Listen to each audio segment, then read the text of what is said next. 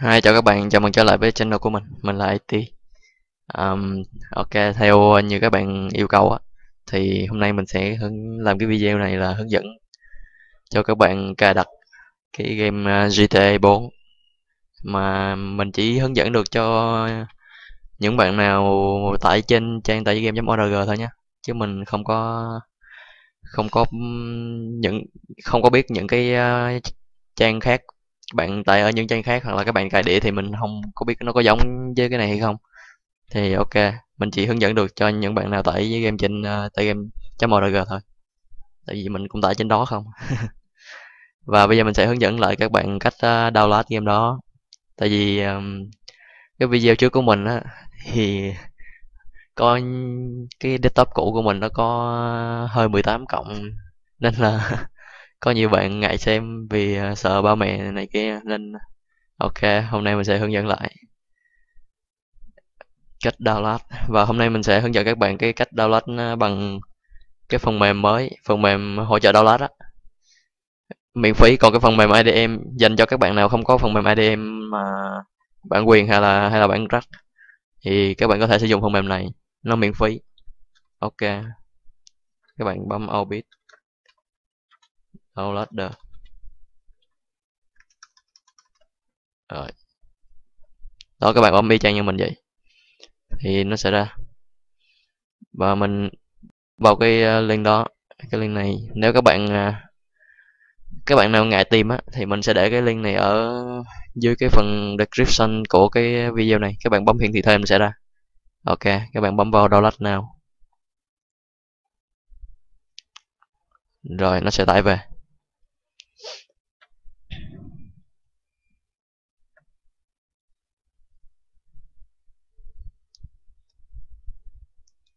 Ok, mình sẽ vào tải game.org trước nhé.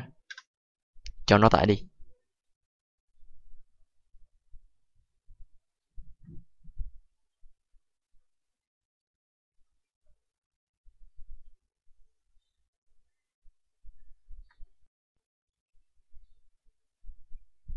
Và các bạn bấm vào đây, tìm kiếm. Các bạn bấm tên vào. Cái trang này thì các bạn chỉ cần biết được tên game, đánh, biết chính, biết tính, chính xác tên game. Và vào đây, các bạn đánh vào đây, thật đúng tên game là nếu có, trong cái trang này nó có, thì nó sẽ hiện ra dưới đây hết. Rồi bấm vào Grand Auto 4 ok. Rồi, phần mềm nó xong rồi, giờ mình sẽ cài đặt phần mềm này nhé. Các bạn bấm vào đây luôn thì nó sẽ cài đặt luôn. Khỏi phải đi đâu xa rồi, cái này thì cứ net thôi. Để nguyên nè này net và vào đây, chấp nhận các à, điều khoản của nó. Net tiếp. Và phần này, các bạn có thể tùy chọn cái chỗ khu vực để cái à, phần mềm này nó cài vào. Các bạn muốn chọn ở đâu thì tùy các bạn. Ok, xong rồi thì net ok net luôn. Phần này thì các bạn có thể bỏ hết bốn cái này đi. Ok thích để cũng được hoặc là, nhưng mà mình thì mình không thích ờ, để làm gì. Để nó hơi vui yếu, cái này là nó làm, nó bắt ờ, cái cái này, đoạn này nè, nó bắt ờ, làm cái trang của nó là cái trang star của mình á. Cái trang mới đầu mình mở web lên là nó xảy ra, nên là mình không cần để làm gì mấy cái này. Mấy cái này không cần thiết. Các bạn thích để cũng được, không thì không cũng được. Chỉ cần để cái đầu tiên này là để cho nó có, nó tạo một cái icon ở desktop này là các bạn dễ sử dụng thôi. Rồi, ok, dưới này thì chọn Chrome. Rồi, next phần này thì các bạn có thể bỏ dấu đi. Tại vì nếu các bạn đánh dấu vô á thì nó sẽ cài cho các bạn cái phần mềm Opera này mình không cần thì cứ bỏ đi cũng được. Còn các bạn nào cần phần mềm Opera thì cứ bấm vào. Ok nét tiếp và nó sẽ cài đặt. Rồi ok finish và mình đã có bản uh, Ovid download đây là giao diện của phần mềm này. Ok các bạn cứ để đó đi. Khoan mình tắt đã. Nhiều khi mới vô cứ để nó sẽ lỗi. Ok. Các bạn tải game này về nhé. Thì uh, mình xin nhắc lại luôn là cái trang này á các bạn muốn tải được game thì các bạn phải có tài khoản. Đầu tiên các bạn phải đăng ký tài khoản xong rồi các bạn sẽ kích hoạt. Và kích hoạt của nó bắt buộc là 20.000 một thẻ thẻ nạp 20.000 thì ừ, các bạn nạp 20.000 nó vào là vừa để kích hoạt và vừa để tải game chứ không phải mất 20.000 của các bạn. Ok thì 20.000 đó các bạn có thể tải được 20 game. Mỗi game trong này chỉ 1.000 thôi rất là rẻ. Và cái link thì chắc chắn nó không bao giờ đai trừ khi cái trang web này đai luôn. Ok. Rồi ok mình sẽ đào cái um, nếu các bạn nào không không có uh, bận biểu thì các bạn rảnh thì các bạn có thể bấm từng cái một mà download nhưng mà vậy thì hơi lâu. Ok thì các bạn có thể ờ, bấm vào cái download toàn bộ link này. Đây nó sẽ hiện ra cái file test. Nó sẽ tải về cho bạn các file test. Cái file test uh, um, có định dạng là txt á. Ok. Và các bạn vào lại orbit.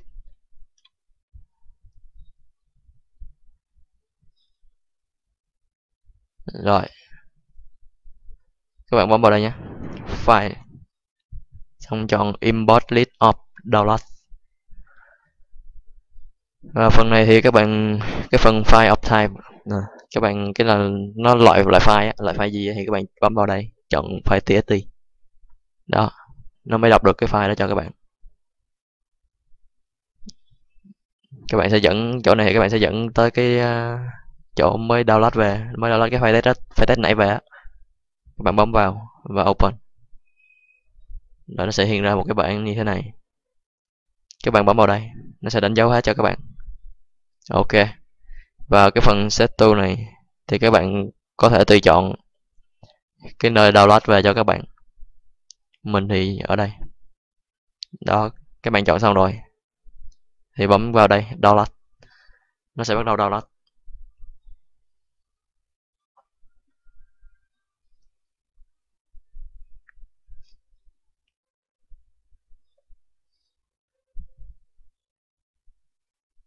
Ok.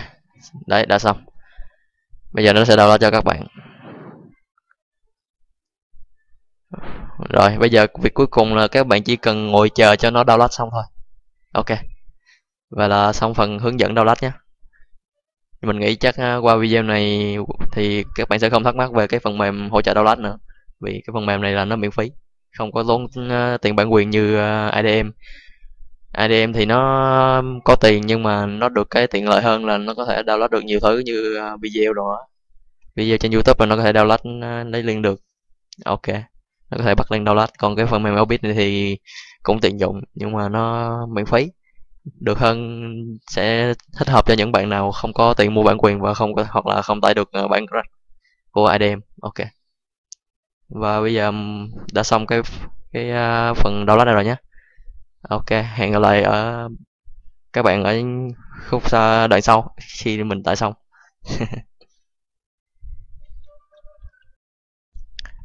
Ok, bây giờ mình sẽ hướng dẫn các bạn cách cài đặt game nhé. Các bạn vào cái ờ, thư mục lúc nãy các bạn ờ, đã tải về. Các bạn đã tải game về, các bạn để ở đâu thì các bạn vào đó. Mình để ở đây. Đây, mình đã đào được hết 51 bát ok. Thì cái ờ, định dạng file tải về trên trang này á, là cái file ờ, nén WinRAR sở dĩ người ta chia ra như vậy á, người ta chia ra nhiều bát như vậy là để cho các bạn download dễ dàng. Ví dụ như các bạn ờ, nó download á, các bạn download mà được chừng một ít rồi, nhưng mà đỡ may cúp điện hay sao đó, thì nó nó vẫn giữ được cái những cái các bạn download được được hết rồi. Ok, các bạn có thể download tiếp những batch sau cái tiện lợi đó ở chỗ đó, với lại nó sẽ nhẹ hơn để các bạn download dễ dàng. Nên người ta chia ra nhiều batch như vậy, hơn là để một file. Nó hay gặp rắc rối ờ, trục chặt ờ, không không trong ý muốn của mình, ngoài ý muốn. Ok, thì các bạn cứ để chung 54 batch này vào một thư một.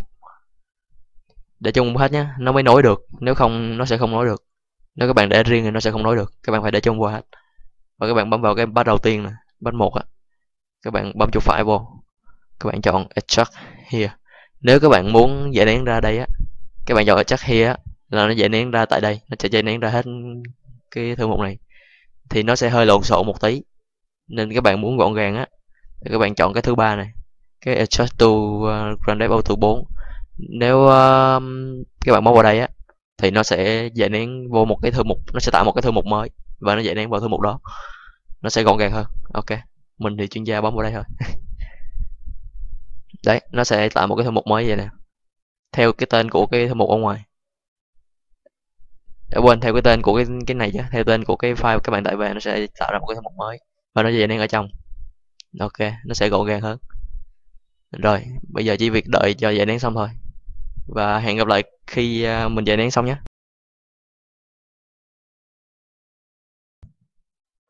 Ok nhanh cu nhanh cu come on come on. Rồi 99% ok. Và mình đã giải nén được ra đây. Các bạn vào đó và vào tiếp cái uh, cái thư mục này.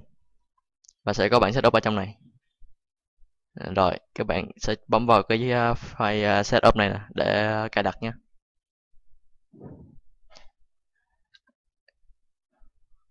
Ok. Phần này thì cứ English nếu không các bạn chọn này thì nó ra ngôn ngữ khác mình không chịu trách nhiệm đâu nhé ok.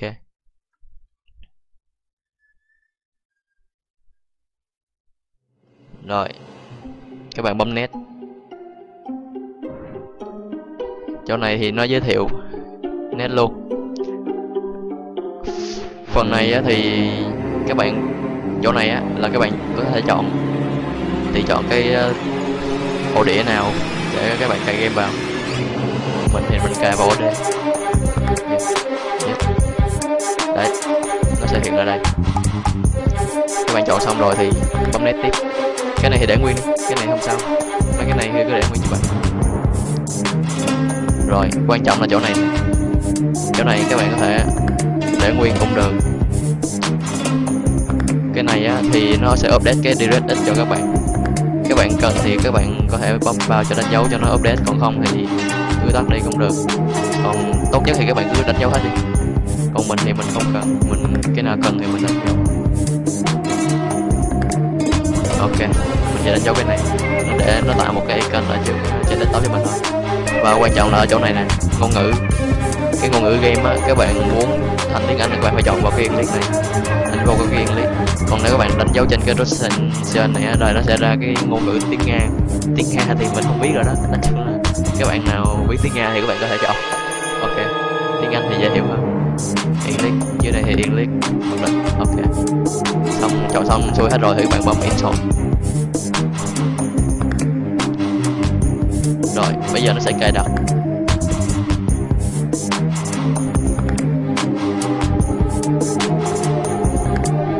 Cái phần cài đặt này tùy vào cái độ tốc độ xử lý của CPU của các bạn. Nó sẽ nhanh hoặc chậm. Nếu CPU các bạn yếu thì nó sẽ chậm hơn. Còn CPU mạnh thì nó sẽ nhanh. Ok.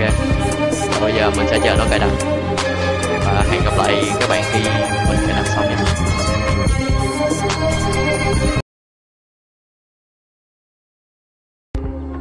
Ok, sắp rồi, nhanh lên, come on, come on, 99, 99,8 phần trăm. Come on, come on. Yeah, 99,9 phần trăm. Ok, finish. Cái là đã xong, các bạn bấm vào finish là để kết thúc nha. Ok, xong. Ủa, sao mày không có cái icon cho tao, xấu vậy? Để mở con lên coi, nhìn cho đẹp trai tí coi. Đây. Ấy ở đâu mà đây chứ.